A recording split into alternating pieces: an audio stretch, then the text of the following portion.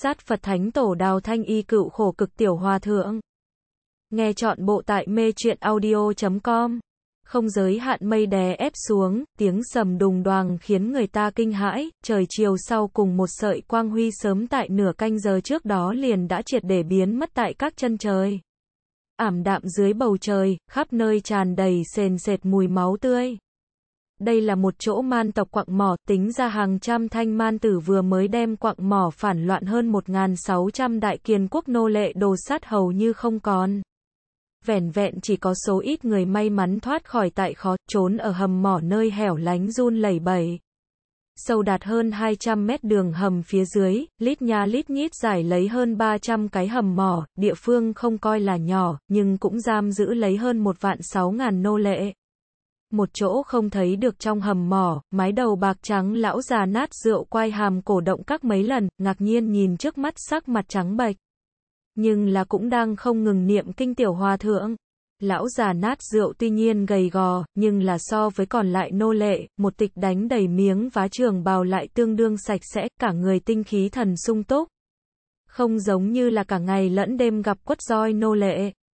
Lúc trước thanh man tử tàn sát đẫm máu liền hắn cái này ở chỗ này các hơn 20 năm kẻ già đời đều là vẫn như cũ cảm giác được kinh hồn bạt vía. Nhưng mà cái này nửa tháng trước bị bắt tiến đến tiểu hòa thượng, kiến thức qua như thế huyết tinh tràng diện về sau, ngoại trừ sắc mặt trắng bệch một số, không có nửa điểm khó chịu. Phải biết đối mặt ương ngạnh cực kỳ tàn ác thanh man, cho dù là đại kiền quốc những quân sĩ đó, cũng đều là nơm nớp lo sợ. Hòa thượng đang cống châu vạn lý đại địa cũng không hiếm thấy, nhưng mà chân chính có tên cũng thì mấy cái như vậy đại tự viện tăng nhân, khoảng cách gần nhất cũng chính là đại kiền quốc đại thừa tự. Bây giờ Phật môn sự suy thoái, mặc dù lớn cả nước 12 đại thượng phẩm môn phái bên trong đại thừa tự đứng hàng trong đó, nhưng mà vẻn vẹn khuất tại cuối cùng. Những đầu chọc đó hòa thượng đối với giết chóc thế nhưng là dị thường cố kỵ, càng đừng đề cập nhìn thấy những thứ này giết người đầy đồng cảnh tượng. Tiểu hòa thượng, khắc niệm của ngươi dám chó kinh văn các, nói cho lão già ta, ngươi là thế nào bị bắt tiến đến, nhìn trang phục của ngươi, làm sao cũng không giống là trong hoang dã dã hồ thiện. Lão già tóc trắng liếc qua đang ở vận chuyển thi thể ném vào lòng đất hỏa quật đốt cháy thanh man tử, ánh mắt bên trong tinh quang lấp lóe, lặng yên ở giữa đem một khỏa trăm cân cự thạch ngăn chặn hầm mỏ, phòng ngừa những man từ đó chú ý đến nơi này dị thường. Hầm mỏ chỗ sâu tiểu hòa thượng dơ lên đầu, kẻ này ước chừng 15-16 tuổi, môi hồng răng trắng, một đôi mày kiếm ngút trời, quả nhiên là cái tuấn tiểu tử. Một thân thượng phẩm tầm ti áo khảm nạm lấy viền vàng, nhìn thân phận thì không nhỏ. Tiểu hòa thượng nhìn lên trước mặt cái này vì hắn hộ giá hộ tống gần nửa tháng lão bất tử, khóe miệng hiện lên một vòng cười khổ, không phải hắn không muốn nói, mà chính là nói ra căn bản không ai tin a. Những ngày này hắn một mực đang chửi mẹ, chính mình rõ ràng tại trong thiếu lâm tự ăn chay niệm Phật hảo hảo mà, chẳng qua là cùng phương trượng thanh viễn đại sư mở cái trò đùa, muốn hoàn tục cưới vợ. Kết quả trực tiếp cho thiếu lâm tự tốt nhất bối phận viên giác sư tổ tức giận không được, cầm lấy cung phụng Phật tổ Pháp khí trực tiếp đập vào ót của hắn lên. Không chờ hắn kịp phản ứng, một vệt kim quang hiện lên. Hắn trực tiếp choáng cắc, sau khi tỉnh lại thì bị giam giữ ở cái này tối tăm không ánh mặt trời trong hầm mò cắc, hoàn toàn thoát ly lúc đầu vũ trụ thời không, thật là gặp quỷ. Thí chủ, dã hồ thiện như thế nào, nghiêm chỉnh đại kiền quốc tăng nhân lại như thế nào, thanh man đánh giết vô số sinh linh, tiểu tăng có thể làm không nhiều. Chỉ có thể cho những cái kia chết oan sinh linh niệm vài câu vãng sinh kinh thôi. Thở dài thở ra một hơi, Minh Viễn Tiểu Hòa Thượng Trung Quy là tiếp nhận các chính mình xuyên Việt sự thật, những ngày này hắn nhưng là không ngừng tại cho mình thôi miên, nhưng mà lại thế nào niệm kinh cũng không cải biến được hắn không tại nguyên lai vũ trụ sự thật. Lão thường đầu khóe mắt co quắp mấy lần, cái này tiểu hòa thượng thật đúng là khó chơi, chính mình cũng coi là hơn 60 tuổi người, vậy mà không thể từ trong miệng của hắn móc ra nửa điểm hữu dụng. Minh viễn tiểu hòa thượng hai tay khép lại, hướng về phía lão thường đầu hơi hơi cúi đầu. Thường lão thí chủ, không biết cái này đường hầm đến tột cùng là chỗ chỗ nào, khoảng cách đại kiền quốc có bao nhiêu dặm mà, lão thường đầu khinh thường liếc mắt nhìn hắn. Minh Viễn Tiểu Hòa Thượng ý nghĩ hắn tự nhiên cũng biết, muốn chạy ra cái này ma quật thôi, nhưng là khả năng này sao không nói đến cái này đường hầm mấy trăm mét độ cao. Muốn đi lên chỉ có thể từ thang mây bên kia leo lên qua, hoặc là đợi thanh man tử dùng to lớn giỏ trúc treo lên qua. Thiên thê bên kia thế nhưng là có vượt qua hai ngàn trưởng thành man tử trông coi, đừng nói là bọn họ những thứ này tay không tắc sắt, xanh sao vàng vọt nô lệ. Liền xem như đại kiền quốc năm ngàn hùng binh, muốn đánh vào đến, cũng là hữu tâm vô lực. Man tộc tuy nhiên được xưng là ngoài vòng giáo hóa di tộc, nhưng là chiến lực mạnh, thuộc về cống châu bách quốc bên trong hung hãn nhất. Thành niên man tộc chiến sĩ, một tay có thể khiêng trăm cân đồ vật, trên tay cầm lấy xong lưỡi búa to tối thiểu có trăm tám mươi cân, nếu là đặt ở đại kiền quốc đồng dạng quân sĩ trên tay. Khả năng trực tiếp đem người ép vỡ.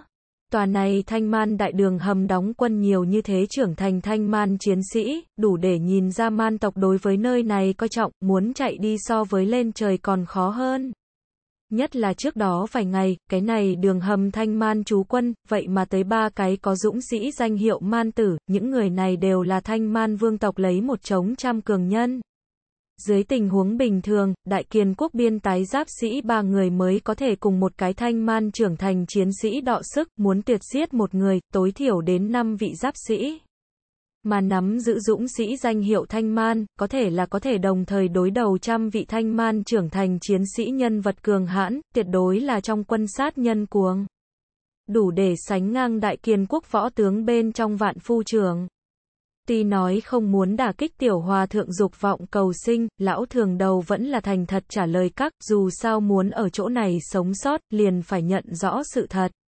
Nơi đây là thanh man quốc phía đông biên tái thứ ba quặng mỏ, khoảng cách đại kiền quốc biên cảnh có hơn 260 dặm, khắp nơi đều có thanh man tử, bình thường nhân đừng hòng trốn đi. Bị bắt được mà nói cái kia hạ tràng tuyệt đối so với chết còn thê thảm hơn gấp trăm lần. Một vòng kim sắc quang mang tại Minh Viễn Tiểu Hòa Thượng trong mắt giữa lóe lên liền biến mất, 260 dặm mà cũng không phải quá xa, toàn lực đi đường, hai ngày thì không sai biệt lắm. Đối với lão thường đầu cảnh cáo, hắn từ chối cho ý kiến, những thứ này man tử tạo ra sát lục tuy nhiên rất lớn, nhưng là hắn cũng không phải chưa thấy qua càng thêm đáng sợ tràng cảnh. Thế giới cũ giữa thiếu lâm tự chính là hoa hạ đại địa mạnh nhất Phật giáo tông môn, tổng lĩnh thiên hạ hào hùng, Phật môn truyền thừa điển tịch nhiều vô số kể. Tối bên trong trưởng khống thần kỳ mật địa càng là khó mà tính toán. Hắn Minh Viễn nói tới tuổi không lớn lắm, nhưng là thiên phú siêu quần, 8 tuổi xuất gia, ngắn ngủi thời gian mấy năm phóng xuất các sáng chói Phật môn thiên tư. Đạt được các thiếu lâm tự tam đại viên chữ lót sư tổ toàn lực bồi dưỡng.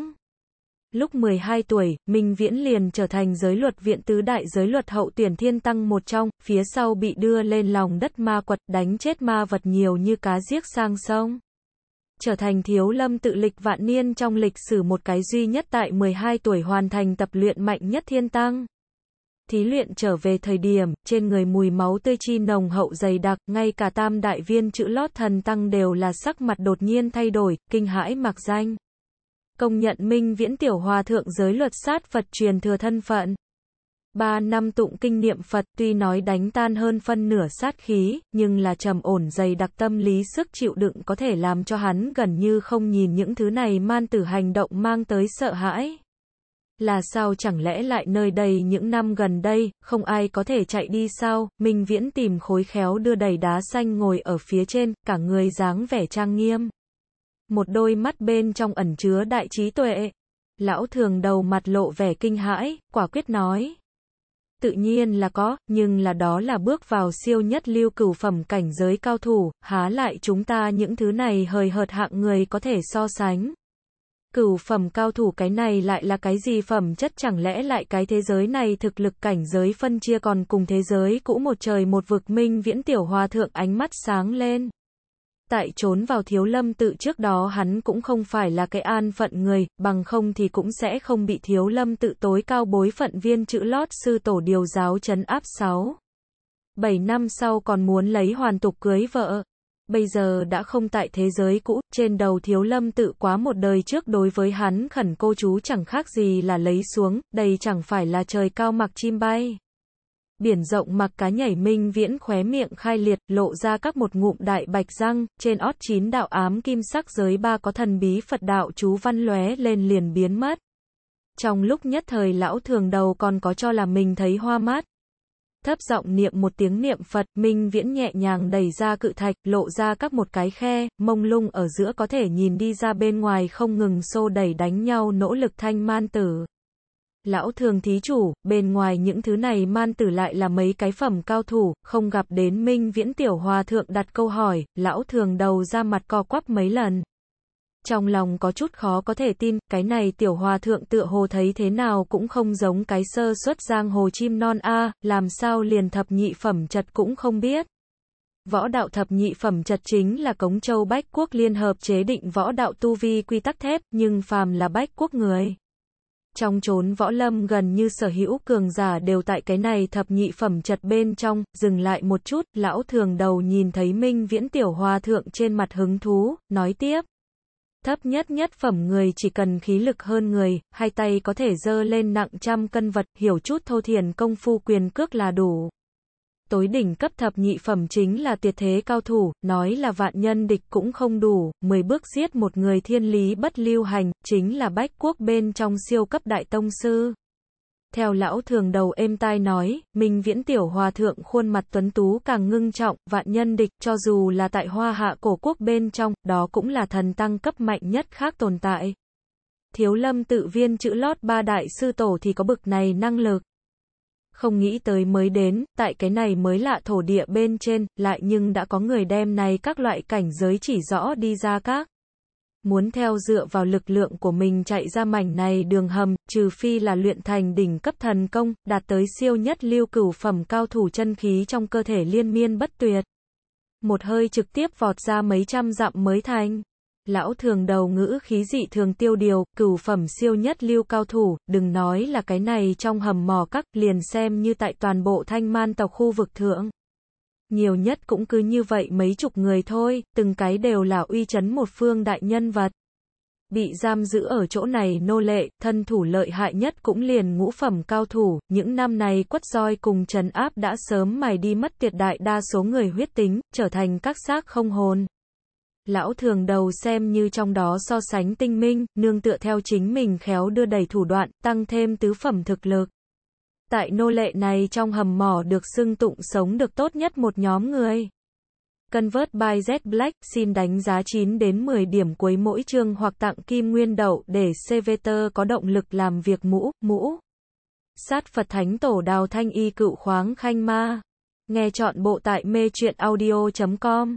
Tiểu Hòa Thượng, bên ngoài những thứ này thanh man tử thực lực đại đa số đều tại nhị phẩm cảnh giới, số ít người có tam phẩm thực lực. Những dũng sĩ đó đều là thất phẩm nhất lưu cao thủ, không muốn uổng nộp mạng A. Lạ thường, lão thường đầu loại này cơ hồ là bị huyết tinh chém giết sạch sẽ tính nhẫn nại tuyệt tình nhân, vậy mà đối với Minh Viễn Tiểu Hòa Thượng chiếu cố vô cùng. Mọi loại nhắc nhở hắn không muốn mạo hiểm như vậy.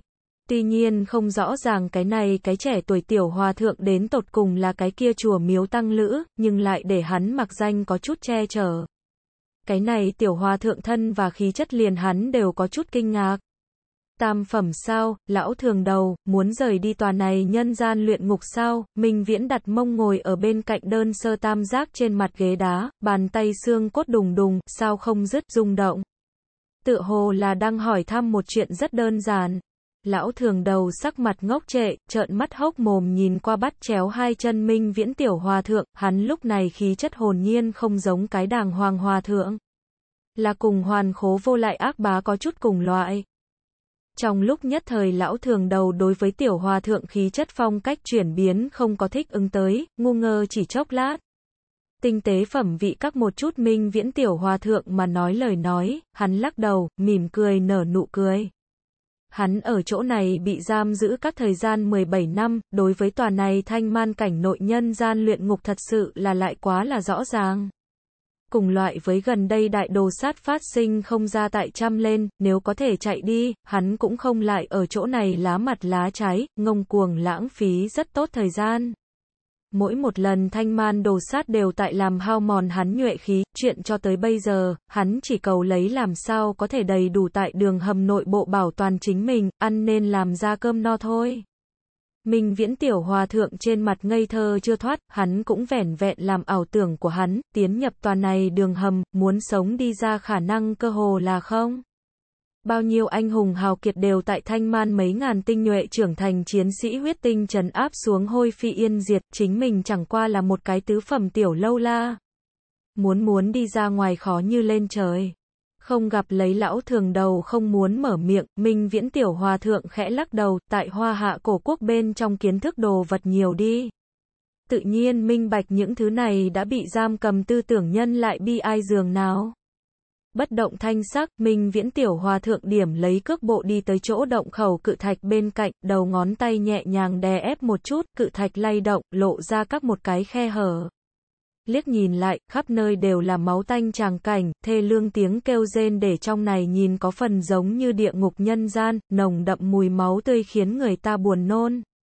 Lão thường đầu từ hồi ức bên trong giật mình tỉnh lại, hắn thấy được minh viễn tiểu hòa thượng động tác, trong lòng kinh hãi dị thường cái kia trọng gần 200 cân thạch đầu hắn cũng phải cần hai tay phát lực mới có thể thôi động, cái này tiểu hòa thượng vậy mà một đầu ngón tay liền có thể đem cự thạch thôi động. Hoa mắt sao dùng sức lau lau rồi hốc mắt của chính mình, lần nữa xác nhận cự thạch quả thật bị đẩy ra một đạo không nhỏ khe hở về sau, lão thường đầu trong nháy mắt dùng mình một cái. Minh viễn tiểu hòa thượng tuyệt đối không phải đợi nhàn tăng nhân. Dựa theo đại kiền quốc luật thép, bình thường minh viễn tiểu hòa thượng niên kỷ, vốn nên thuộc tại người thiếu niên. Cho dù là vương hầu thế gia tử đệ cũng là ở vào đánh căn cốt chịu luyện thể phách giai đoạn, hai tay có thể có trăm cân đều coi là trong đó nhân tài kiệt xuất các. Tiểu hòa thượng, ngươi chẳng lẽ từ đại thừa tự đi ra thiếu niên thần tăng một đầu ngón tay có thể khiêu động khối này ta dùng để ép môn cự thạch, nhìn qua lão thường đầu run rẩy trong mắt đều nhanh bay ra ngoài dáng vẻ, Minh Viễn Tiểu Hòa Thượng bất đắc dĩ cười cười, hắn tự nhiên biết đại lực kim cương chỉ uy năng, như vậy lại há là người bình thường có thể ước đoán. Thiếu lâm tự võ công bí tịch nhiều, có thể xưng thiên hạ số một, bao hàm đồ vật xâm la vạn tượng, chỉ là 72 bí kỹ hắn thì nắm trong tay trong đó 14 chủng.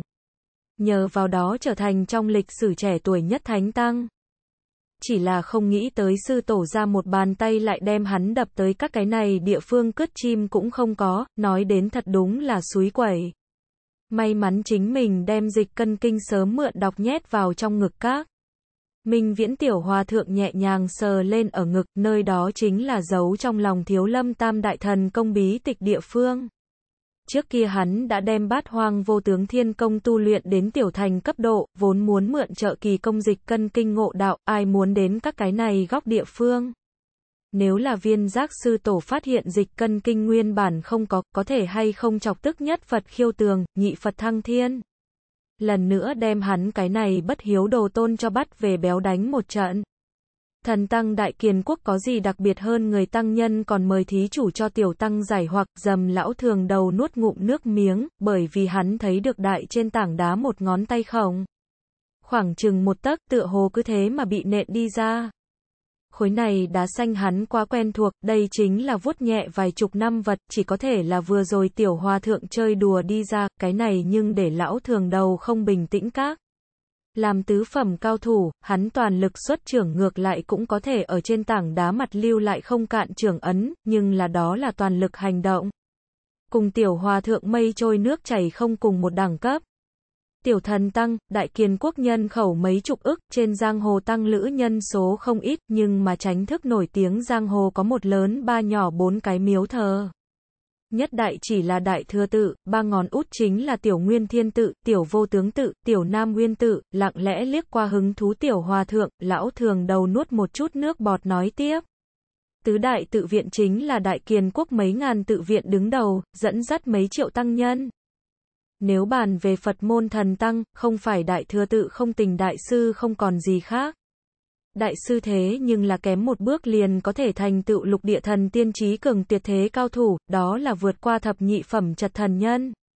Minh Viễn Tiểu Hòa Thượng khóe mắt co quắp một chút, mấy triệu tăng nhân, con số này cũng là thật tâm có chút đại A, hoa hạ cổ quốc nhân khẩu hơn 10 tỷ. Nhưng là chân chính mới có thể được tính là tăng lữ cũng mới mười mấy hai mươi vạn thôi. Thập nhị phẩm chật cao thủ liền có thể có thể so với thiếu lâm viên chữ lót tam đại thần tăng, vậy vị này không tình đại sư cái gọi là tiếp cận nhất tại lục địa thần tiên thực lực. Lại biết cường hãn đến bực nào trình độ. Chẳng lẽ lại có thể so sánh huyền cơ thái sư tổ cần phải không thể nào, dù sao huyền cơ thái sư tổ đây chính là thành tựu tự giác cảnh tồn tại. Hoa hạ cổ quốc cận đại hơn 3.000 năm đến duy nhất nhất tôn tự giác cảnh Phật môn trí cường cao thủ. Hoa hạ cổ quốc nói tới võ công bí tịch nhiều vô số kể, nhưng là bởi vì hiện đại hóa phát triển, cường đại nhất cũng chỉ có thể là quốc gia bạo lực cơ quan. Theo cận đại công nghiệp phát triển, phần lớn nhân đã sớm không thế nào phù hợp đi võ đạo phát triển đường đi. Nhưng là ở chỗ này, trong không khí có ẩn hàm rời rạc linh khí lại là hoa hạ cổ quốc mười mấy lần, hoàn toàn là lớn nhất thiên nhiên trạng thái, thích hợp nhất võ đạo phát triển. Nghĩ đến chỗ sâu, Minh Viễn Tiểu Hòa Thượng khóe miệng đều tuét ra các luận căn tính trên thực tế hắn cũng không phải cái gì an phận người. Lúc trước bị phương trượng đại sư mang về trong chùa đều chỉ là vì rèn luyện sát tính, muốn lấy Phật môn tinh túy đem hắn chế tạo trở thành thiếu lâm tự ngàn vạn năm vừa ra, giới Phật. Phật Pháp không chủ trương giết chóc, đây là chư tử bách gia công nhận, nhưng lại tươi ít có người biết Phật môn căn cơ chân chính lại là những khổ hành tăng đó cùng hộ Pháp Kim Cương. Mà những người tài là phù hộ Phật môn một đường yên ổn trưởng thành nền tảng, đứng tại đỉnh cao nhất, chính là cái gọi là, giới Phật, chủ sát lục, trấn áp, yên diệt thế gian tội ác. Đề cập giới Phật, một loại khác xưng hô, có lẽ người khác sát Phật Thánh Tổ Đào Thanh Y cựu bảo binh, cuồng ma. Nghe chọn bộ tại mê truyện audio.com. Vắt ngang cự kiếm, cuồng ma, thanh man tộc bậc thầy thác bạt tuệ thiên chế tạo bảo bối cấp binh khí, nặng đến 198 cân, lực sát thương có thể xưng vô song. Từng có thanh man tộc cường giả cầm trong tay thanh này hãn binh giết hại chỉnh một chút một cái cánh quân phòng vẫn quốc tinh nhuệ binh sĩ. Đây chính là chỉnh một chút một ngàn người quân đội, chiến lực tuyệt đối không yếu, dù sao phong vẫn quốc chính là cống châu 10 vạn dặm cương vực cường đại nhất siêu cấp cường quốc. So với đại kiền quốc cũng mạnh hơn 3 phần. Một ngàn phong vẫn quốc chiến sĩ tinh nhuệ, đủ để giữ vững một cái 10 vạn người thành thị, mà ở tên hiệu cuồng ma thanh man tộc trong tay cường giả, lại như là một đám ô hợp vắt ngang cự kiếm nhất chiến thành danh, ghi vào giang hồ 108 bảo khí bảng danh sách. Vắt ngang cự kiếm cuồng ma vô cùng chân quý, cho dù là tại man tộc bên trong xếp vào nhân tài kiệt xuất thanh man bộ ra, đó cũng là báu vật cấp đồ vật. Không nghĩ tới lại bị một vị dũng sĩ gánh ở trên lưng. Chiến màn nhìn một cái rêu, khóe miệng lộ ra các nụ cười, đối với hắn có thể thu hoạch được thanh man tộc đỉnh cấp đại tông sư tán thành, truyền thừa vắt ngang cự kiếm cuồng ma. Hắn cũng là có chút giật mình. Cuồng ma tiền bối đó là thanh man tộc siêu mũi nhọn tông sư, tại trong tộc được hưởng nổi danh, cho dù là tộc vương đối với hắn đều là gấp đôi tôn sùng. Chính là áp đảo đồng dạng siêu cấp thế lực đại năng.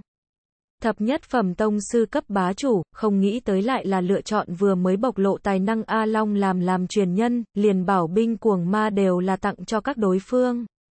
Thật đúng là sủng ái hắn cái này vị đệ tử A. Yên tâm đi, dưới trướng của ta đại quân đã tại dần dần thanh lý lòng đất đường hầm những đại kiền quốc đó nô lệ, năm ngày, phía dưới tuyệt đối sẽ không lại có không phải man tộc người sống. Chiến màn ngữ khí rất bình thản, thẳng nếu là có đại kiền quốc nhân nghe được, tuyệt đối sẽ lâm vào vạn kiếp bất phục thâm uyên, trong lòng đất, đây chính là có lấy mấy vạn nô lệ a. Cứ như vậy muốn bị tàn sát các nhân mạng tại vị này thống lĩnh trong mắt, tựa hồ là liền cỏ rác cũng không bằng, vì giữ vững cái nào đó tin tức, đường hầm chỗ sâu mấy vạn sinh linh có thể tùy ý đổ sát. Nghe vậy, A Long đóng lại các hai con ngươi, an tâm cùng đợi trong truyền thuyết thanh ma xuất thế. Sư tôn của mình cuồng ma dặn đi dặn lại, nhất định phải thủ hộ tại thanh ma điện hạ ấu thể giai đoạn, vì thế liên hoành đoạn cự kiếm đều truyền cho hắn.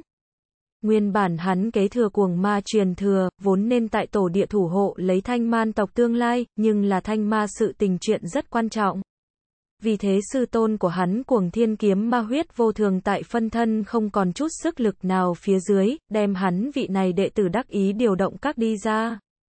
Dầm dầm mạnh mẽ đanh thép một loại nào đó tiếng tim đập từ đường hầm chỗ sâu truyền đưa lên, Minh Viễn tiểu hòa thượng con mắt trợn lên, hơi hơi phun ra một ngụm chọc khí. Lại là vương tộc ấu thể, loại người hình thanh ma sao, như thế, vẫn là chạy trước đi thôi, loại vật này có thể là quái vật A, hiện tại căn bản không có khôi phục lại toàn thịnh thời kỳ gặp được thì là muốn chết, cười khổ một tiếng, Minh Viễn tiểu hòa thượng giật một chút còn đang run sợ giữa bất an lão thường đầu, ra hiệu đối phương chớ có lên tiếng. A-di-đà Phật, sai lầm A sai lầm thường thí chủ, đợi sẽ cùng theo ta là được rồi, vũ khí lên, hết thảy đều sẽ thay đổi mơ hồ. Có cái gì đáng tin cậy nhân thủ không có, lão thường đầu lo sợ tâm trong lúc đó bởi vì minh viễn tiểu hòa thượng cái này tiếng niệm Phật yên tĩnh trở lại, dầm nuốt nước miếng một cái. Minh bạch các tiểu hòa thượng ý tứ. Tại cái này nôn nóng khẩn trương không khí hạ, cá biệt đào thoát hành động chỉ có thể là muốn chết, mỏ nơi cửa tính ra hàng trăm thanh man tộc thần xạ thủ chát long bắp thịt căng cứng. Cầm trong tay cường cung, cũng sớm đã phong tỏa xung quanh mỏ miệng chỉ cần vừa ló đầu, tuyệt đối là một vòng bắn trụ biến thành cái sàng đến rơi xuống, lúc này có thể nhấc lên nô lệ bạo động, đi ra tỷ lệ phải lớn hơn nhiều. Có, có có ta bây giờ lập tức qua liên hệ, đáng chết man tử, vì cái gì ta sẽ có chủng đại họa lâm đầu cảm giác. Lão thường đầu hùng hùng hổ hổ, đẩy ra cự thạch, muốn rời khỏi, nhưng mà, một thanh khổng lồ khai sơn phủ trực tiếp bổ xuống. Mau lẹ tiếng xé gió để con ngươi của hắn trong nháy mắt co rút lại thành châm mang. Vẻn vẹn liếc qua, lão thường đầu sợ vỡ mật, nguyên bản cùng hắn quan hệ mật thiết thanh man tộc cờ dài hải đông mây vậy mà giữ tợn nhìn qua hắn, trong đôi mắt tràn ngập máu tanh sát lục khí tức. Song đời lão thường đầu không nghĩ tới thanh man tử ác như vậy, vậy mà dự định liền bọn họ những thứ này an phận thủ thường lão gia hỏa đều một khối xử lý. Đây là quyết tâm muốn muốn tiêu diệt tất cả mọi người a. Tuyệt vọng nhắm mắt lại, lão thường đầu chỉ có thể chờ đợi đao phủ ra thân trong nháy mắt, chỉ là chờ đợi các 10 thời gian mấy hơi thở, vẫn không có cảm giác tử vong. Ách ách ách thống khổ tiếng rên rỉ vang lên, lão thường đầu hơi hơi mở hai mắt ra, cuộn tròn rụt cổ lại đập vào mắt thấy thứ nhất hình ảnh để hắn kinh hãi, sững sờ một lát thân cao tới 2 mét thanh man tộc cờ dài lại là bị 1 mét 6 7 tiểu hòa thượng sách trong tay, chỉ là vị này giết người đầy đồng cờ dài không có nửa tia phách lối. Đầu to lớn bầy biện ra một loại quỷ dị vặn vẹo hình. Trong miệng còn tại phun ra bọt máu, trong tay cự phủ đính vào bộ ngực, cả người chết không thể chết lại. Đây chính là một vị ngũ phẩm cao thủ, có thể xuất lĩnh trăm tên thanh man tộc trưởng thành chiến sĩ cờ dài cứ như vậy dễ như trở bàn tay chết tại cái này nhìn như không đáng chú ý tiểu hòa thượng trong tay. Lão thường đầu nhịn không được dùng mình một cái, hải đông mây thực lực cực mạnh, ngũ phẩm đỉnh phong tu vi, chết trong tay hắn trên đầu cường giả tối thiểu có mấy trăm, bị chết như thế biệt khuất.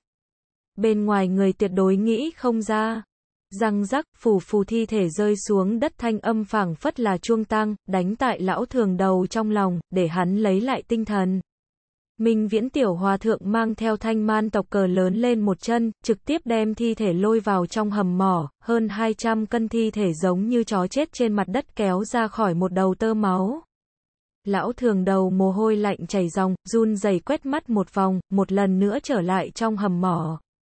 Nhỏ, nhỏ, tiểu thần tăng làm sao bây giờ, những man từ đó nổi điên, sở hữu hầm mỏ đều sắp xếp người tại đồ sát, đây là muốn đuổi tận giết tiệt A, trong lúc nhất thời, lão thường đầu rối tung lên. Kéo dài hơi tàn mấy chục năm, không muốn cuối cùng vẫn muốn nghênh đón man tử đồ đao, tại thanh man tộc đại quân dưới tay, tuyệt đối là chết không có chỗ chôn.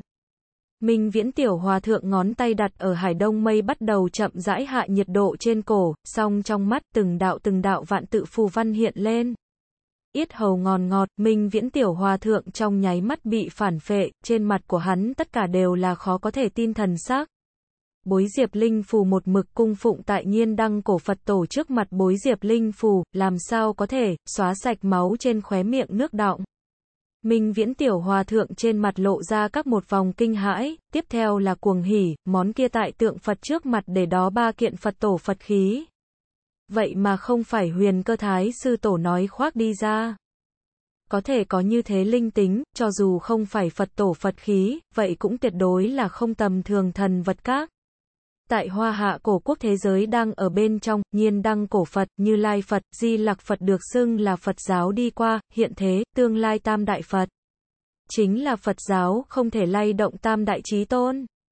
Tại hắn mi tâm linh hải chỗ sâu, một đạo phong cách cổ xưa tản ra nhàn nhạt ám kim sắc Phật quang phiến lá chính đang không ngừng lan lộn, khí tức thần thánh khiến người ta như mộc xuân phong. Hoàng Phủ Vân Tiêu 12 năm trước đó hình ảnh, cái thế giới này, chẳng lẽ lại, Minh Viễn Tiểu Hòa Thượng trong đầu xẹt qua một vài bức hình ảnh, cuối cùng chậm rãi trở thành nhạt. Biến mất không thấy gì nữa. ầm ầm bị thần bí Phật khí khai quang về sau, Minh Viễn Tiểu Hòa Thượng ngũ giác tăng cường mấy lần có thừa, mơ hồ ở giữa lại là nghe được các chiến tranh, vạn mã bôn đằng núi thở rào rạc. Biển thét gầm lên lại là quân đội, đại đội kỵ binh như thế là thú vị, bớt đi bản tôn một phen công phu, Minh Viễn Tiểu Hòa Thượng hít sâu một hơi, khoanh chân bắt đầu yên lặng chờ, thời gian một nén nhang. Vạn mã bôn đằng hợp giáp phiến ma sát va chạm tiếng vang càng ngày càng gần, liền trong hầm mỏ tầm thường nô lệ đều là nghe được nhất thanh nhị sở. Lão thường đầu tuy nhiên thực lực không cao, nhưng là nhãn giới tuyệt đối là đỉnh phong, chỉnh tề tiếng vó ngựa hợp giáp phiến vù vù ma sát, đây cũng không phải là thanh man tộc quân đội.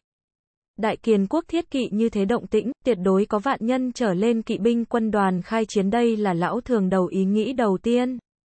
Dù sao tòa này đường hầm khoảng cách hai nước chỗ giao giới khoảng chừng hơn 200 dặm, như thế xâm nhập thanh man tộc cứ điểm chỗ sâu, đây tuyệt đối là đại kiền quốc xé rách biên cảnh phòng tuyến.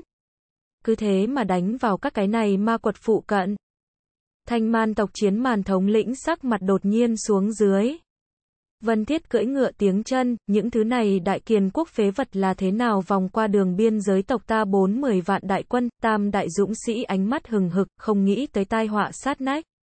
Đại kiền quốc tinh nhuệ nhất kỵ binh một trong Vân Thiết cưỡi vậy mà lại hướng về phía đường hầm tới.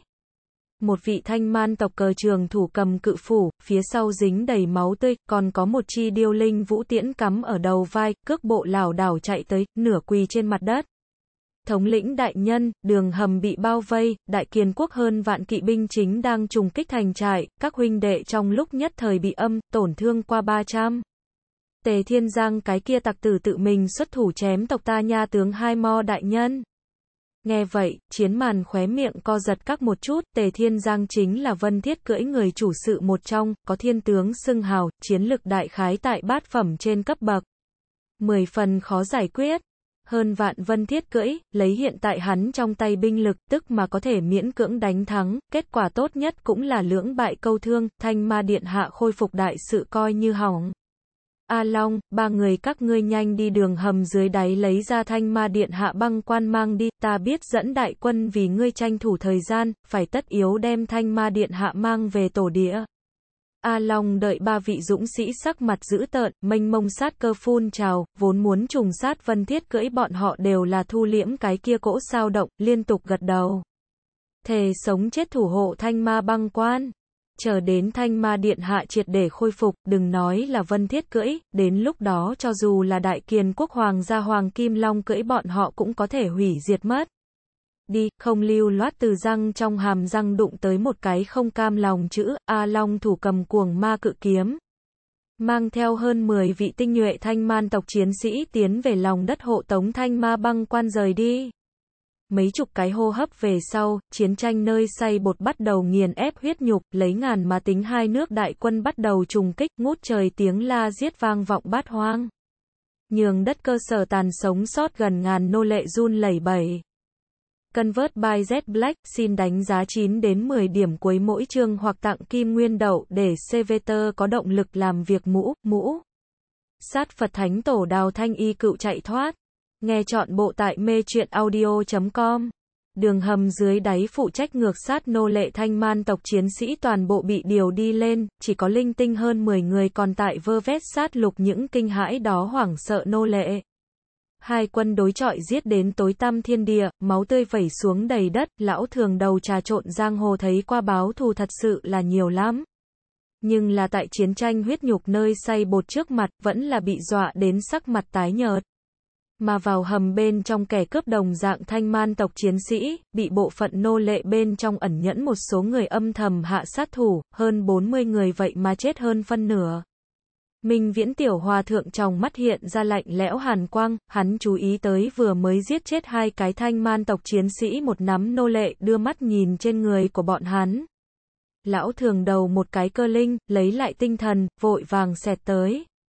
Chết người thọt, làm sao, còn có dự định diệt chúng ta không được, các ngươi thiết cước giúp chỉ còn lại có mấy cái quả bí lùn kém táo, lúc này không nghĩ đi ra ngoài chẳng lẽ muốn muốn cả một đời ở chỗ này cái tù trong lòng được xưng là người thọt lão nhân kia ánh mắt âm lãnh tại lão thường đầu trên thân lặp đi lặp lại quét sạch mấy lần. Cuối cùng vẫn không có động thủ, mang theo dưới tay năm người rời đi. Không tệ hảo thủ, quân người trong đội đi, một thân sát phạt khí tức thế nhưng là so trên giang hồ tán binh mạnh lên không ít. Minh Viễn Tiểu Hòa Thượng có nhiều thú vị liếc qua rời xa, tiến về thiên thê bên kia thiết cước giúp thành viên, đối với lão thường đầu cường thế, hắn cũng là lần đầu tiên nhìn thấy.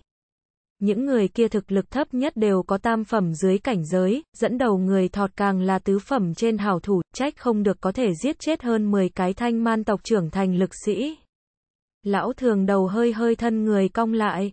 Tiểu thần tăng, ngài như thế nào biết được những người này đều là lúc trước từ bột hải quận phi hỏa quân đào thải xuống quân sĩ, đáng tiếc tay chân tàn khuyết, đều bị vứt bỏ. Cảm giác các một vào hầm phía ngoài huyết khí, minh viễn tiểu hòa thượng thở phào nhẹ nhõm. Theo ta đi, có thể rời đi, đường hầm bên ngoài, khắp nơi trên đất thi thể, có người mặc giáp kỵ binh đang cùng lực đại vô cùng man tộc chiến sĩ chém giết cùng một chỗ khắp nơi đều là ngọn lửa toán loạn, khét lẹt thi thể thiêu đốt khiến người ta buồn nôn.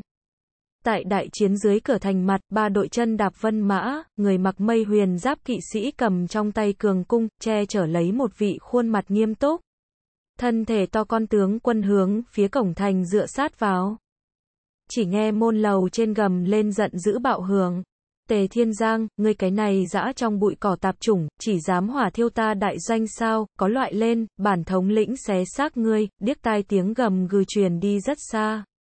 Có xuyên kim liệt thạch uy năng, hơn 20 vị kỵ binh chiến mã cứ thế mà bị chấn động thành kẻ điếc, bối rối một mảnh tiếng ồn ào để vị kia giáp hồng linh tướng quân mi tâm nhăn ở cùng nhau liếc một cái cửa thành lầu từ phía trên vị kia cặn bã dâu đại hán, có thiên tướng xưng hô vân thiết cưỡi chấn tây tướng quân tề thiên giang lộ ra các lãnh khốc khuôn mặt. Đứng hàng chính tam phẩm chấn tây tướng quân hắn, quyền thế ngút trời, trên đầu còn mang theo từ tước phong hào, thực ấp 3.000 hộ, chức cao tôn sùng, đương nhiên sẽ không tùy tiện lấy thân thử hiểm. Lần này hắn tiếp vào Thanh Dương Vương Điện ra lệnh, trực kích thanh man tộc nội điện chiếm lấy đường hầm chỗ sâu mỗ dạng thần bí đồ vật. Không nghĩ tới ở đây bảo vệ vậy mà lại là chiến màn cái này khó giải quyết cường giả. Tề Thiên Giang cùng chiến màn đều tính toán là đồng thời đời nhân kiệt, cả hai tuy nhiên chẳng qua hơn 40 tuổi, nhưng là tự thân chiến lực đều vượt qua bát phẩm cảnh giới. Trên giang hồ tiếng tăm lừng lẫy, làm lão đối thủ cũng là hiểu rõ.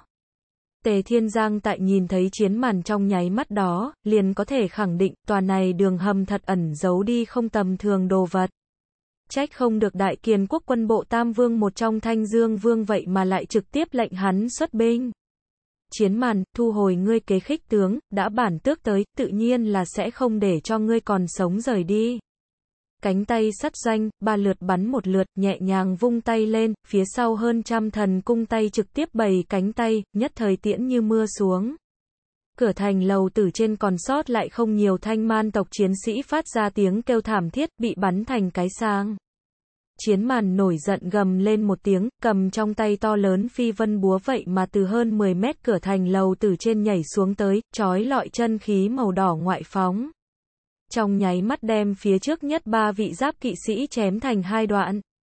Máu tê tiêu xạ, thi thể bay tứ tung, mãnh liệt đánh vào thị giác làm cho tiểu đội hơn 20 vị kỵ binh bỗng nhiên biến sắc, nhưng là vẫn như cũ là ngay ngắn trật tự xông tới giết.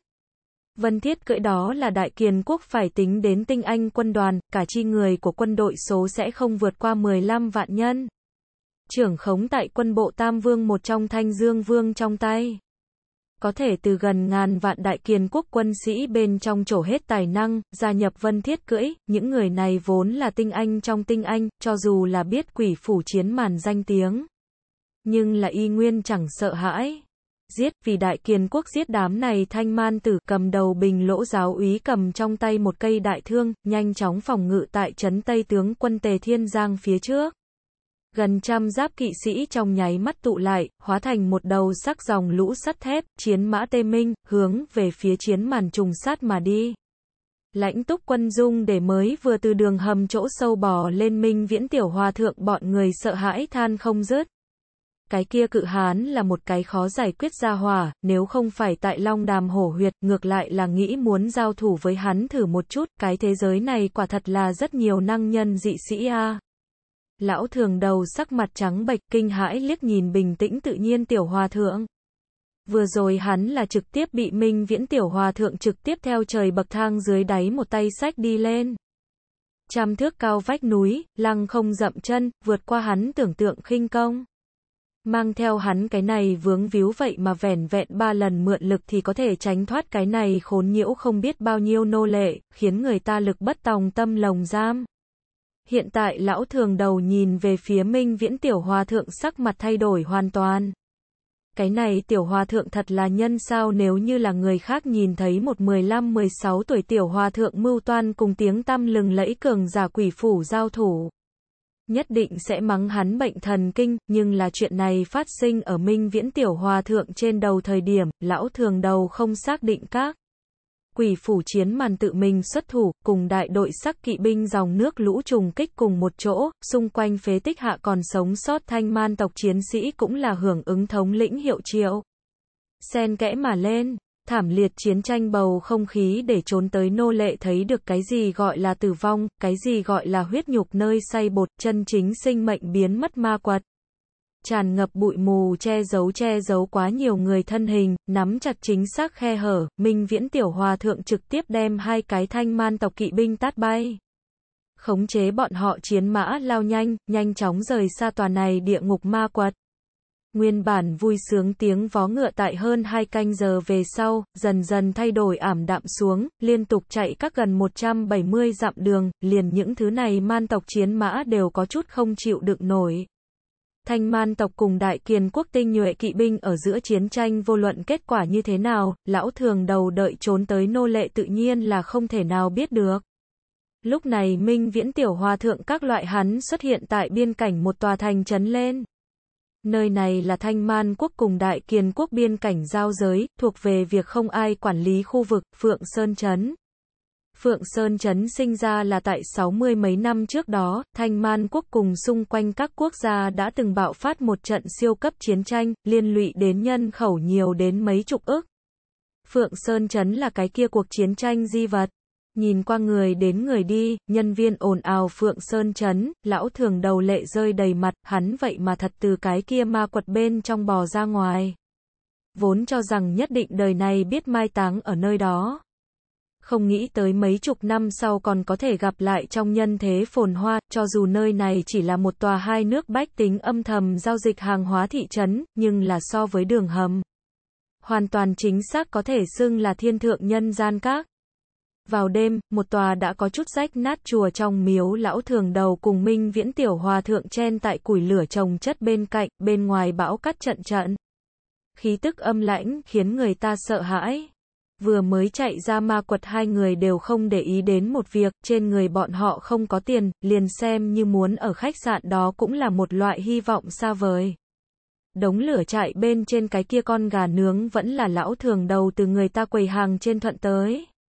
Minh viễn tiểu hòa thượng nuốt trong tay đùi gà, nhìn như không có tuân thủ cái gọi là giới luật, đương nhiên truy bản tố nguyên đến cổ Phật thời đại. Trên thực tế là không có ăn mặn giới loại thuyết pháp này. Nhất là đối với võ tăng tới nói, không có ăn thịt cùng dược vật điều trị thân thể, làm sao có thể luyện thành một thân công lực, càng đừng đề cập bảo hộ Phật môn truyền thừa. Ngoài ý liệu là, lão thường đầu đối với Minh Viễn Tiểu Hòa Thượng ăn thịt không có nửa điểm khó chịu, tại Đại Kiền Quốc bên trong Phật môn ăn mặn giới cũng không phải là luật thép, tử nhục Hòa Thượng. hòa Hòa Thượng thật sự là quá thường gặp các quan ngoại giã hồ thiện càng là như vậy, bọn họ tuy nhiên tôn trọng Phật môn thánh pháp, nhưng lại hiếm có nhân biết tuân thủ Phật môn thanh quy giới luật. Răng rác lão thường đầu mí mắt nhảy một cái, cả người xoay người ngồi dậy, tay nắm một thanh trên chợ thuận tới đỏ sắt đoàn đao, trong mắt giữa phóng xuất các sói đói đồng dạng hàn quang lạnh như băng. Tòa miếu cổ này lụi bại đã lâu, cái này canh giờ gần như không có khả năng sẽ có người tới, nhưng là bên tai tiếng bước chân lại không giả được, bên ngoài viện cành khô bị bẻ gãy, rõ ràng là có người tới. Người nào, đáp lại lão thường đầu vẻn vẹn lạnh lẽo âm phong, chung quanh tối phảng phất là muốn đem hắn thôn phệ, tịch mịch trăng tròn treo ở giữa trời, lại lại bị gió cắt che khuất hơn phân nửa dung mạo. Minh viễn tiểu hòa thượng run run người trên tăng bào, ngón tay gảy nhẹ, chỉ nghe hai tiếng gào thét qua đi, cổ miếu miếu đỉnh loảng xoảng hai tiếng có cái gì ngã xuống, trầm thống tiếng rên rỉ vang lên. Lão thường đầu lông tơ lóe sáng, xoay người mấy cái, đoạn đao đón đỡ, bang bang tiếng kim loại va chạm dị thường chói tai, mặt đất nhiều ba, bốn cây bay vụt đánh dấu. Màu xanh biếc đánh dấu đầu để lão giang hồ tê cả ra đầu. Chín khuê xà độc, xà quật xà môn nhân tại sao lại ở chỗ này, nghe lão thường đầu tiếng thét chói tai, minh viễn tiểu hòa thượng mi tâm nhăn lại, đứng thẳng người lên đứng lên. Lúc này, ngoài cửa tiếng vang xào sạc càng ngày càng nhiều, một đám ép một chút độc xà phun tín tử đem cổ miếu vây lại, tiếng bước chân ầm ập xuyên qua rách nát miếu tường. Kẽo kẹt kẽo kẹt lão thường đầu tại giấy cửa sổ trên rút một cái khổng, thấy rõ ràng ngoài cửa tràng cảnh về sau, sắc mặt trắng bệch, lạnh giọt mồ hôi như là gãy mất dây ngọc trai. Đùng đùng, sao không dứt rơi xuống. Giao ra tây vực phiên tăng, nếu không, giết không tha, giống như cương thiết ma sát âm thanh vang lên, cổ miếu bên ngoài, ba vị người khoác sắc trường bào. Trên bờ vai đều cuộn lại một đầu sơn sắc khuê xả áo nhân đứng thành một hàng, giận dữ hét lên. Convert by Z Black, xin đánh giá 9 đến 10 điểm cuối mỗi chương hoặc tặng kim nguyên đậu để CVT có động lực làm việc mũ, mũ. Sát Phật Thánh Tổ Đào Thanh Y cựu kim cơ ngọc cốt giận ân cứu. Nghe chọn bộ tại mê truyện audio.com. Bọn họ phía sau hơn 20 vị cung thủ cung kéo hết cỡ, thời khắc chuẩn bị bắn một lượt, trên mặt đất cát trên đá bò đầy lít nha lít nhít trường xà, vừa nhìn liền biết là vật kịch độc. Bị cắn một cái tuyệt đối là chắc chắn phải chết. Lão thường đầu dọa đến hồn phi phách tán, những cung tiễn thủ đó coi như bỏ qua, vẻn vẹn tầm thường quân sĩ, nhưng là ba cái kia áo người cổ áo đều là thêu lên một đầu du tàu kim tuyến tiểu xà đại biểu cho đến từ xa Quật Xà Môn. Xà Quật Xà Môn, Cống Châu Tây vực bốn đại siêu cấp tông môn một trong, trong truyền thuyết có thập nhị phẩm siêu cấp đại tông sư tọa chấn, chính là La Hán Hoàng Triều Quốc giáo, vô cùng thần bí. La Hán Hoàng Triều, Cống Châu Tây vực mấy chục cái quốc gia đệ nhất cường quốc, thực lực vẻn vẹn so đại kiền quốc yếu hơn như vậy mấy phần thôi, tuyệt đối hùng chủ nước. Ba người này lại là sa quật xà môn nội môn tử đệ, lúc nào sa quật xà môn nhân vậy mà chạy đến thanh man tộc trên địa bàn các, hơn nữa còn là sông lấy bọn hắn tới. Lão thường đầu ánh mắt tụ lại đến các minh viễn tiểu hòa thượng trên thân, trong lòng lo sợ bất an, chẳng lẽ đám người này theo đuổi giết tiểu thần tăng nhìn lấy cũng không giống a Tiểu thần tăng công lực kỳ sâu, tuyệt đối là nguồn gốc từ đại kiền quốc hoặc là phong vẫn hoàng triều dạng này trung thổ Phật môn, căn bản cũng không phải là phiên ngoại tà tăng trang phục. Khụ khụ khụ một tiếng đứt quãng tiếng ho khan từ cổ miếu phải rách đằng sau truyền tới, Minh Viễn Tiểu Hòa Thượng mắt lộ ra quái dị, hắn là không nghĩ tới tượng Phật phía sau lại còn cất dấu nhân. A-di-đà Phật, Sa vô trần, ngươi không cần đại động can qua như vậy, muốn công ra con nối dõi bằng bản lãnh của mình tới bắt liền tốt, chớ có tai họa người khác. Đi ra chính là một vị lão phiên tăng, đầu đội tiêm giác nghiêng mũ, trên thân một đầu ha đa, vải nhung làm tăng y đánh đầy miếng vá, tăng thương phong cách cổ xưa sắc dưới khuôn mặt. Ẩn giấu đi một đôi con ngươi sáng ngời. Minh viễn tiểu hòa thượng đôi mắt hơi mở, giật mình trong lòng, âm thầm kinh ngạc. Cái này lão phiên tăng trên thân có Phật quang chợt hiện, rõ ràng là nhất tôn tu Phật có thành tựu người, thực lực không thấp, tuy nhiên chưa từng bước vào thánh tăng cảnh giới. Nhưng tuyệt đối pháp lực thâm hậu. Hừ, lão bất tử, cứ việc 30 năm trước đó ngươi từng là hồi thiên giáo ba vị giáo tông chi dưới đệ nhất nhân, nhưng mà lại là quá mức xen vào việc của người khác các. Đại Kiền quốc cùng La Hán quốc sự tình như thế nào người giang hồ có thể tùy ý nhúng tay, lại không hối cải, trực tiếp đưa ngươi vãng sinh cực lạc. Lão phiên tăng trầm mặc không nói, khóe miệng chảy ra một vòng cười khổ, sự tình đến trình độ này, hắn là tuyệt đối sẽ không thì dễ dàng như vậy buông tay, lão công ra ân tình. Cho dù là thịt nát xương tan cũng phải báo đáp. Không gặp đến già phiên tăng không chịu thúc thủ chịu chói, bên trái nhất xa quật xà môn nội môn tinh anh hai con ngươi tản ra xanh mơn mởn quang mang, vẫn là không nhịn được thuyết phục các vài câu. Viên luân Pháp Vương, bây giờ ngươi vì bảo vệ tiểu tử kia, kinh mạch toàn thân bị phế các bốn phần mười, một thân công lực chỉ còn lại có thất phẩm dưới cảnh giới. Còn có không có ý định buông tay sao ta xà môn khôi nguyên phó môn chủ, các ngươi hồi thiên giáo ba vị giáo tông đại nhân cũng đều hạ lệnh ám sát ngươi, thu tay lại đi. Lão thường đầu lỗ tai động mấy lần, ánh mắt đột nhiên liếc về các tượng Phật đằng sau rụt rè ngồi xổm một cái tiểu hòa thượng, ánh mắt chiếu tới, lại là mắt mang co vào. Làm trà trộn tại đủ hạng người bên trong lão giang hồ, hắn trong nháy mắt thì đã nhìn ra, cái này tiểu hòa thượng lại là cái tiểu nha đầu, một cái bị đầu chọc tiểu ni cô các vị thí chủ, lão công gia lưu ở trên đời này huyết mạch chỉ còn lại cái này một cái, chẳng lẽ lại xà môn cùng giáo ta rất nhiều hào hùng thật muốn giết chết chỉ là một đứa bé sao? Lúc trước Hoàn Yến Sơn nhất chiến, quốc công gia có thể tính được là là hạ thủ lưu tình. Viên luân Pháp Vương khóe miệng ho ra máu, trong đôi mắt kim quang trong nháy mắt ảm đạm xuống, trèo chống một đường vốn cho rằng đào thoát một kiếp không nghĩ tới trung quy là khó thoát những thứ này truy sát hai đại siêu cấp môn phái ma chảo. Xà quật xà môn cùng hồi thiên giáo thuộc về Tây vực siêu đỉnh phong đại môn phái, trong môn cao thủ như mây, nếu như thật quyết tâm tư tưởng muốn tiêu diệt lão công ra huyết mạch. Hắn viên luân trừ phi thành tựu đại tông sư cảnh giới, nếu không cũng chỉ là châu chấu đá xe. Ngay tại tam đại xà môn đặc sứ dự định mở miệng thời điểm, một đạo khàn giọng giữa mang theo một chút thanh âm mệt mỏi từ phá miếu đỉnh chóp truyền tới. Tĩnh quốc công hoàn Yến Sơn diệt sát giang hồ hào hùng mấy ngàn, ba năm trước đây lục gia cũng là bị cường giả bí ẩn diệt tộc, tuy là nhân quả, nhưng lại không phải ta có thể dễ dàng tha thứ chỉ là không nghĩ tới không nghĩ tới năm đó cá lọt lưới, ngoại trừ ta trương bách luyện bên ngoài, viên luân pháp vương ngươi vậy mà lại thề sống chết thủ hộ, lục huynh đời sau. Ngược lại thật là khiến người ta không giải. Mọi người ngẩng đầu, chỉ gặp phá miếu phía trên chẳng biết lúc nào ngồi ngay thẳng một vị dâu ria xồm xoàm hán tử, trên tay dắt lấy một cái mặc hồ lô màu xanh lục tửu dịch theo khóe miệng trượt xuống. Thần hành quỷ cước trương bách luyện thiên địa nhân ba trong bảng nhân bảng bài danh thứ ba 14 nhân vật cường hãn, cái bang lão bang chủ hồng cửu công đại đệ tử. Tam đại xà môn nội môn đệ tử thần sắc run lên, cước bộ sau chuyển, hơn 10 vị cường cung thủ đều là dơ lên cung tiễn nhắm ngay phá miếu trên cái kia trung niên nam tử. Viên luân Pháp Vương nguyên bản ảm đạm ánh mắt lại lần nữa sáng rỡ, ánh mắt nóng bỏng có chút nóng lên, chắp tay trước ngực. A-di-đà Phật, nguyên lai là trương thí chủ, thí chủ đã tới, lão nạp cũng có thể yên tâm. Xà môn cầm đầu nội môn đệ tử xa vô trần sắc mặt âm trầm cơ hồ muốn nước, hồng môn cái bang khắp thiên hạ, cống châu khất cái đâu chỉ mấy triệu, cơ bản toàn bộ tuân theo hồng môn cái bang thống lĩnh. Thần khất hồng cửu công chính là trên thiên bảng đại tông sư, bài danh thứ tư, nghe nói mấy chục năm trước đó từng qua được một vị lục địa thần tiên dạy bảo chính là đại kiền quốc số một nhân vật cái thế.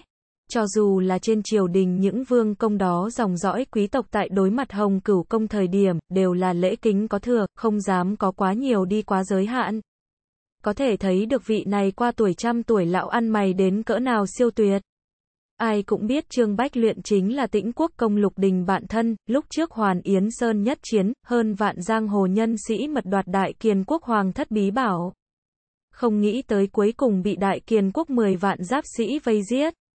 Nhưng mà tĩnh quốc công lục đình cưỡng ép kháng chỉ, lưu lại bao quát trương bách luyện ở bên trong mấy trăm còn sót lại hào hùng tánh mạng, tĩnh quốc công bởi vậy được ban cho chết, ra đạo xa sút Cuối cùng bị thần bí nhân huyết tẩy toàn tộc. Thần hành quỷ cước trương bách luyện tuyệt đối là vì vách tường che chở tĩnh quốc công lục đình hậu nhân mà đến, cái này phiền phức lớn rồi, ba người bọn họ ti nói thực lực không yếu từng cái đều có thất phẩm trên nhất lưu tu vi, nhưng là đối mặt Trương Bách luyện, thật đúng là không chắc. Đối phương nhìn như phóng đãng không bị trói buộc, nhưng mà tu vi tinh thâm, tuyệt đối có bát phẩm đỉnh phong năng lực, muốn giết bọn hắn cũng không phải cái gì chuyện quá khó khăn. Trong lúc nhất thời, ba cái tiến thối lưỡng nan, kiêng dè không thôi. Nguyên bản Minh Viễn Tiểu Hòa Thượng không có ý định trộn lẫn những người giang hồ này sĩ ân oán gút mắc, nhưng khi ánh mắt chuyển rời đến cái kia nữ giả nam trang Tiểu Hòa Thượng trên người thời điểm. Trong mắt hơi co lại. Kim cơ ngọc cốt làm sao có thể, Minh Viễn Tiểu Hòa Thượng trong mắt đều muốn bay ra ngoài các cổ duỗi ra, kim cơ ngọc cốt lúc Phật ra một loại thuyết pháp, đại biểu tu Phật một loại đỉnh cấp tư chất. Nghe đồn lúc trước quan âm Bồ Tát năm đó nhục thể phàm thai thời điểm, chính là kim cơ ngọc cốt, có thể tại tu Phật con đường trên có thể đại thành, cùng loại thể chất này cùng một nhịp thở. Chảy xiết tiếng hít thở đã quấy dày chính đang đối đầu song phương, Minh Viễn Tiểu Hòa Thượng không biết lúc nào đã xuất hiện ở Tiểu Ni cô bên người. Ấm áp nụ cười tăng thêm viên kia sáng loáng đầu chọc để tiểu cô nương đáy lòng sinh là tuyệt vời cảm giác. Không tệ, không tệ, quả thật là kim cơ ngọc cốt cuối cùng là đối với mấy vị sư thúc tổ có cái bàn giao các cái này lão tử hoàn tục trung quy là yên tâm thoải mái đi. Thực chất bên trong minh viễn tiểu hòa thượng tuy nhiên nóng lòng tránh thoát Phật môn thực hiện gông xiềng, nhưng là thiếu lâm mang cho hắn ân huệ nhưng lại cần phải hoàn lại.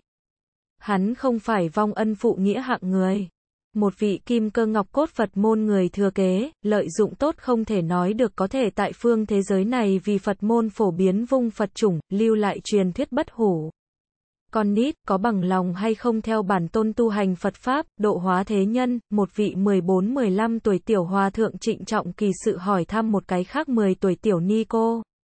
Thấy thế nào đều có chút buồn cười. Nhưng mà, lão thường đầu hợp vị kia viên luân pháp vương đều không có cười, nhất là lão thường đầu, hắn nhưng là thật sâu minh bạch tiểu thần tăng bất phàm cỡ nào. Viên luân pháp vương chắp tay trước ngực, trong mắt bên trong có các một tia giải thoát, ngày khác ân tình hôm nay rốt cục có thể còn có hơn phân nửa, cũng coi là hiểu rõ các một đoạn duyên. Cho dù là đột tử hắn cũng có thể an tâm. Hắn nhìn ra Minh Viễn Tiểu Hòa Thượng bất phàm, tinh tu Phật Pháp hơn 10 năm, mơ hồ có thể nhìn trộm đến đối phương thể nội thâm hậu Phật lực. Xa xa xa vô trần khóe mắt co quắp một chút, nhìn thấy tiểu ni cô thời điểm trong mắt giữa lóe lên sát cơ cùng cuồng nhiệt, lập tức quay đầu hướng về phía trương bách luyện. Thần hành quỷ cước hạ, ngươi chẳng lẽ dự định nhúng tay xa quật xà môn, hồi thiên giáo báo thù sao, cái này đại giới cho dù là hồng cửu gia cũng sẽ không dễ dàng tiếp nhận tràn ngập uy hiếp ngữ để miếu đỉnh Trương Bách luyện sắc mặt âm lãnh xuống dưới, năm đó tĩnh quốc công chết tràn đầy câu đố, hắn không thể cứu giúp. Bây giờ nếu là liền công ra huyết mạch duy nhất đều không gánh nổi, hắn lại có cái gì dưới mặt đi gặp lục đình phanh phanh miếu đỉnh hai tiếng rung động tiếng vang qua đi. Sơn trong màn đêm một đạo quỷ ảnh xẹt qua hư không, to lớn bàn tay trong nháy mắt xuất hiện ở cung tiễn thủ bên cạnh. Tiếng kêu thảm thiết thê lương vang lên, máu tươi rơi vãi, hai người trực tiếp tung bay đâm vào các tường viện thượng, bắn tung tóe lên mảng lớn máu tung tóe. Thi thể theo chân tường trượt xuống, mắt thấy là không sống được. Trương Bách Luyện, ngươi dám, xà môn ba làm kinh sợ dị thường, bọn họ không nghĩ tới Trương Bách Luyện vậy mà thật dám xuất thủ trước giết bọn họ xà môn người. Tuy nói hồng cửu công uy danh chấn thiên hạ, nhưng là bọn họ xa quật xà môn cũng là siêu đỉnh phong đại phái. Xa quật xà tôn danh hào trong thiên hạ ai không biết, ai không hiểu, cái kia đồng dạng là thập nhị phẩm đại tông sư, trấn áp vô số giang hồ anh hùng hào kiệt. Tại La Hán Hoàng Triều đó là so quốc sư càng thêm chức cao tôn sùng tồn tại. Convert by Z Black, xin đánh giá 9 đến 10 điểm cuối mỗi chương hoặc tặng kim nguyên đậu để CVT có động lực làm việc mũ, mũ.